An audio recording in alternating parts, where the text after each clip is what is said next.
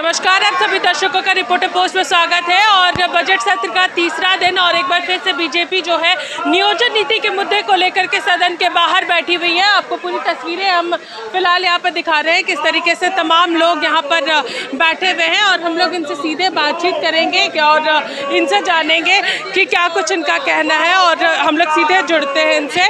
इनका क्या कुछ कहना है?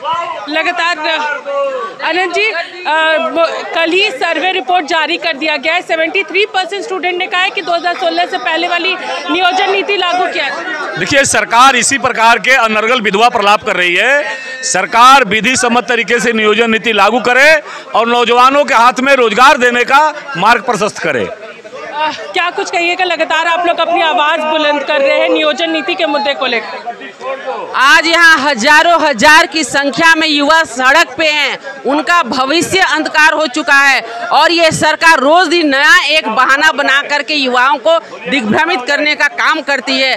हम सरकार से मांग करते हैं कि युवाओं के हाथ में रोज़गार दो और उनको दिग्भ्रमित करना बंद करो। रोज नए नए बहाना बनाना बंद करो, ये हम सरकार से मांग करते हैं। माना जा रहा है कल कैबिनेट और कैबिनेट में नियोजन नीति को लेकर के आखिरी मोहर हेमंत सरकार लगा सकती है।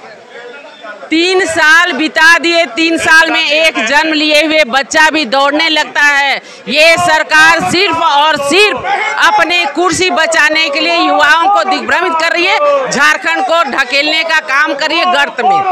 तो लगातार आप पूरी तस्वीरें देख रहे हैं, यहाँ पर किस तरीके से तमाम बीजेपी के विधायक जो है, वो सदन के बाहर बैठे हुए हैं और अपनी मांगों को लेकर क्या बैठे हैं कि नियोजन नीति जल्द से जल्द राज्य में आनी चाहिए और विधि सम्मत नियोजन नीति लागू करो की मांग कर रहे हैं। झारखंड में बेरोजगारों के साथ जो व्यवहार किया जा रहा है, उसको लेकर के लगातार आवाज़ जो है, वो यहाँ पर बीजेपी के विधायक सदन के बाहर और सदन के अंदर उठाते हुए नज़र आ रहे हैं। और साथ ही साथ आपको बता दें कि जिस तरीके से जो सर्वे रिपोर्ट जारी किया गया है, उसको लेकर के भी कई सारी बातें जो है, वो सामने आ रही है, जहाँ पर 73 परसेंट स्टूडेंट्स ने यहाँ पर 2016 से पहले वाली नियोजन नीति यहाँ पर लागू कर, यहाँ पर रोज़गार का सिलसिला शुरू करने की मांग जो है, वो यहाँ पर अभ्यर्थी करते हुए नज़र आ रहे हैं और कल महत्वपूर्ण बैठक जो है कैबिनेट की वो रखी गई है और तमाम तस्वीरें आपको हम लोग यहाँ पर दिखा रहे हैं। तमाम जो यहाँ पर बीजेपी के विधायक है, वो सदन के बाहर हंगामा करते हुए नज़र आ रहे हैं। हम लोग और भी लोगों से बात करेंगे यहाँ पर कि किस तरीके से तमाम चीज़ों को देख रहे हैं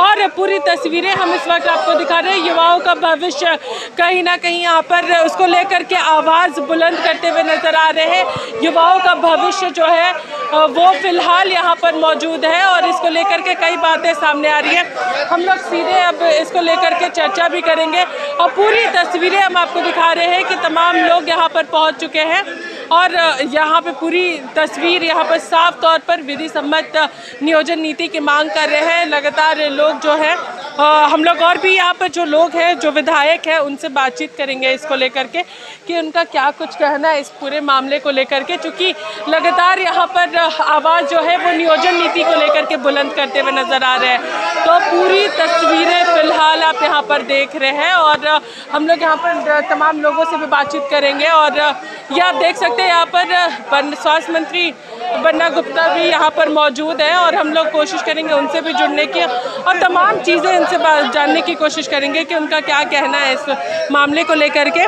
कि यहाँ पर लगातार सरकार जो है विपक्ष हमलावर हो रही है इनके ऊपर। तो यहाँ पर आप देख सकते हैं, स्वास्थ्य मंत्री बन्ना गुप्ता भी मौजूद है। हम लोग इनसे भी बातचीत करते हैं कि क्या कुछ इनका कहना है इस पूरे मामले को लेकर के। आप पूरी तस्वीरें देख रहे हैं यहाँ पर स्वास्थ्य मंत्री बन्ना गुप्ता मौजूद हैं और लगातार बीजेपी के विधायक जो है वो भी अपनी आवाज़ यहाँ पर बुलंद कर रहे हैं। हमारे साथ स्वास्थ्य मंत्री बन्ना गुप्ता है। क्या कुछ कहिएगा? विपक्ष जो है पूरी तरीके से नियोजन नीति को लेकर के हमलावर है आप लोगों पर। अरे कोई हमलावर नहीं है। ये लोग बेसलेस हो गए हैं। इनके पास मुद्दा विहीन हो गए हैं ये। इनके पास कोई मुद्दा नहीं बचा है। इसलिए ने सर्वे रिपोर्ट भी जो है वो जारी कर दिया है। उसको लेकर के क्या कहिएगा? क्योंकि 73 परसेंट स्टूडेंट जो है वो 2016 से पहले वाली नीति के लिए अब कल मंत्रिपरिषद की बैठक होगी। मंत्रिपरिषद के पूर्व में एक जिम्मेवार मंत्री होने के नाते मंत्रिपरिषद की बैठक के पूर्व में इस पर कुछ भी विवेचना करना, कुछ भी कहना उचित नहीं है। आने दीजिए, यथाउचित समय में यथाउचित जवाब दिया जाएगा।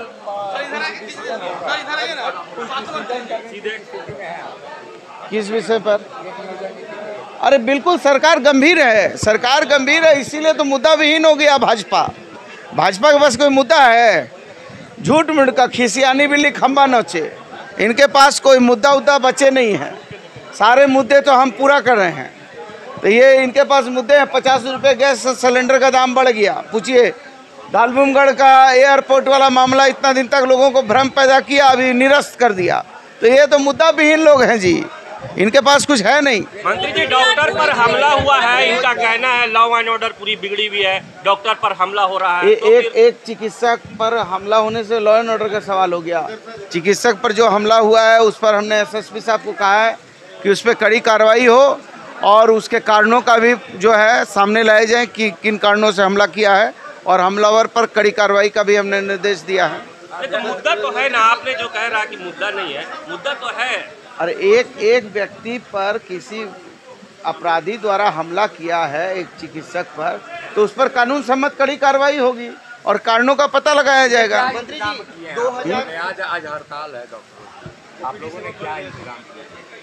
सारे इंतज़ाम हैं और हमारे डॉक्टर बड़े संवेदनशील हैं और हम हमारे चिकित्सकों के साथ बैठकर परामर्श करके सारे बातों को सुलझा लेंगे।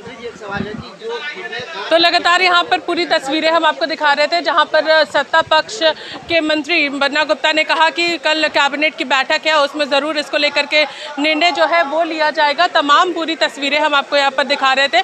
और वहीं अगर बीजेपी की बात करें तो बीजेपी ने भी यहाँ पर नियोजन नीति को लेकर के अपनी आवाज़ बुलंद की है कि सरकार विधि सम्मत नियोजन नीति लेकर के आए।